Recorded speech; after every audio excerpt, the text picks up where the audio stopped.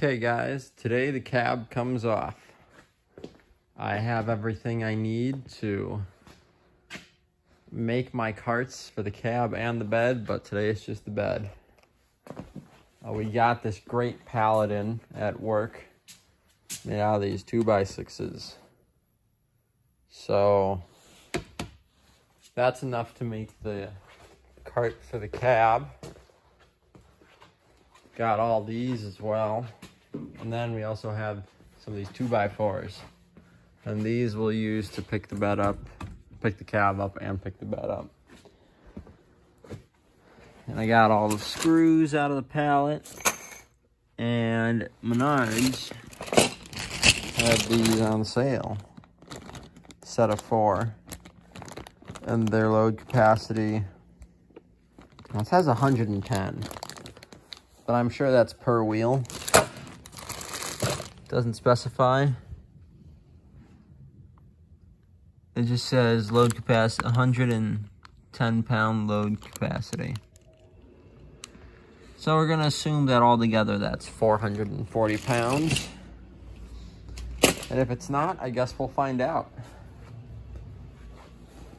But yeah, cab is coming off today. Then we're halfway to a bare frame. Um, but I have my measurements all drawn up and I just have to make some cuts and put some screws through. So yeah, let's get to it. Okay, it's like an hour and change amount of minutes later and the crappy cart is built. It is not pretty, but all my heights are perfect. The back is exactly four inches taller than the front. My widths are perfect. It's fairly balanced. And then we have these runners and it rolls. And I put the locks. These casters do have lockers on the back. But I was going to put them on the front, but that was an oops. So they're just going to be on the back. But yes, this will hold the cab quite nicely. And then I just got to make one for the bed. And eh, that one should be much simpler. Because we don't have to do these. We don't have to do stuff four inches taller and at odd angles and stuff. So, that one will be a rectangle instead of a trapezoid. So, now, I gotta build a little adapter for my engine hoist. I have to get the hoist inside the cab. And then I have to pick the cab up and roll the frame outside set the cab down on that cart, roll it to where it is currently, and then roll the frame back inside. That is at least the plan. And I think it's doable. Uh, it's about 1020 right now, so we might not do it tonight. I do have plenty of time to get this done. But I'd like to at least get my little adapter for the hoist built. So tomorrow night, it's just pick it up, shuffle stuff around, and move it around. So yeah, I think we'll see what I do. We'll see what I end up doing. Again, who knows how far I'll go. So my contraption is working. Uh, we are going to have to do it outside, though, because I have no room to back up the cab. But it is off all four points right now. There's there and there. It's not perfectly balanced, but it works. So this is the idea. I would have preferred like a 4x4 or something, but it's working. so all we did is we have that half inch steel bar where the bolt hole used to be and we have that there's that shim because the uh, 2x4 is significantly narrower. So we had to shim it out, and then even then it was sort of a friction fit. But it's on and it's working, but I gotta lower it back down, roll the whole truck chassis outside, get the hoist out there, pick up the cab, bring the cab inside, or more accurately, we'll roll the cart out there and set the cab down on the cart outside. And then we'll roll the, roll the cab inside on the cart, roll the frame in, get all the tools in, and I'm done for the night. Um, yeah. And then I just got to do the same thing for the bed. Get all the parts out of the bed. It's going to probably take half an hour. And then we just do the same thing. Build a little frame, pick it up, put it on a cart. So yeah, we'll get this done and we'll show you guys once it's all done. Cab is off. It's working very well. It's actually pretty well balanced. So now we just gotta get this under here. We gotta go up high enough.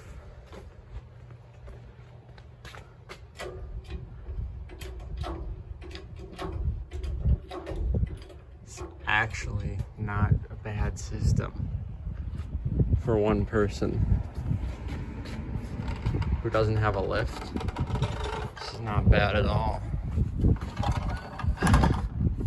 So you just gotta get it close.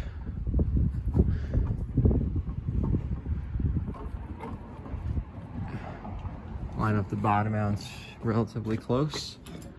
We'll drop it down just a little bit. Not so much that it touches in the front. Just enough. Because once we get one body mount landed, we'll line it up relative to, relative to that. Okay, so there's one touching right there. That's not perfectly centered. That's fine. That's fine. That's fine.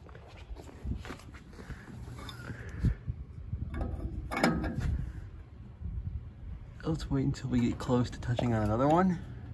Oh, it's going. Um, swing it this way.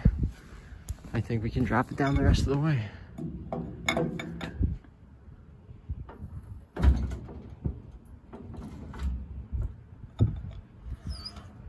Oh, look at that.